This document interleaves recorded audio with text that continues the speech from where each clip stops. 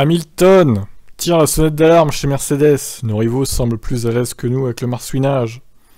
Bon, alors c'est ce que je disais dans le live Twitch hein, tout à l'heure. Je les sens pas terribles, hein, Mercedes, honnêtement, ça m'inquiète un peu. Je vous avoue que à Barcelone ça allait à peu près. Mais on dirait qu'ils ont du mal à Bahreïn par contre. Hein. La voiture reste très similaire, mais avec tout ce vent que nous avons cette semaine, les rebonds sont encore pires, déclare Hamilton. Nous travaillons donc sur différents scénarios en, essayant de modifier le niveau d'appui et ainsi réduire le marsouinage comparé aux essais précédents. Je pense que tout le monde est probablement dans le même bateau, mais certains semblent avoir moins de problèmes avec ce phénomène. Les conditions sont compliquées ici, la piste est bosselée, glissante et sableuse. Il faut bien, il fait bien trop chaud le matin et il y a du vent l'après-midi. La voiture est certainement différente de la semaine dernière, mais je pense que le facteur le plus important vient des pneus qui fonctionnent différemment avec de telles températures. Nous avons une machine différente, mais je ne crois pas que le problème vienne de là.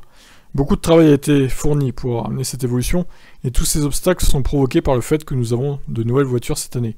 Je suis confiant quant au fait que l'équipe travaillant à l'usine trouvera des solutions, mais ça ne sera pas un long fleuve tranquille.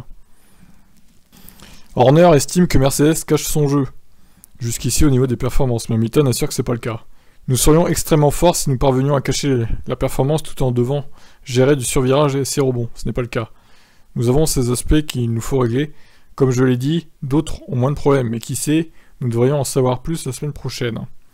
Sur la caméra embarquée, vous pouvez voir que ça percute de tous les côtés, puis à ses rebonds et ses bosses. Ce n'est pas génial pour le moment, mais nous essayons de trouver des solutions. Si la première course avait lieu dès ce week-end, Hamilton pense savoir qu'il emporterait.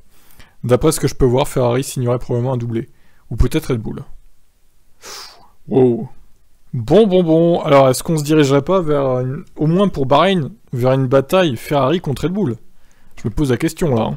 Et Mercedes, euh, un outsider, qui se battrait donc pour le, 5, la cinquième, la sixième place, quoi, en gros. Aïe aïe aïe, moi je, je les sens pas, hein. au moins à Bahreïn, je pense qu'ils vont être en difficulté à Bahreïn. Bon, après, il faut voir les autres circuits, peut-être que comme ils ont dit, peut-être que la hiérarchie changera en fonction du tracé et de la température. Pour Bahreïn, euh, je suis pas très confiant. Pour l'instant, du moins. J'espère qu'ils vont redresser la barre, mais honnêtement, je pense pas qu'ils bluffent là. On voit bien hein, sur le live que, la Mercedes est, vraiment euh, très instable et euh, elle rebondit vraiment beaucoup par rapport à d'autres voitures en ligne droite. Donc bon, écoutez, déjà on va voir la dernière journée de demain comment ça se passe et puis, voilà quoi. Faudra voir ce que ça donne avec les différentes évolutions qu'ils vont ramener pour la première course à Bahreïn la semaine prochaine. Voilà pour cette interview euh, pas très optimiste de Lewis Hamilton. Je vous laisse commenter. Qu'est-ce que vous en pensez, vous, de Mercedes? Ciao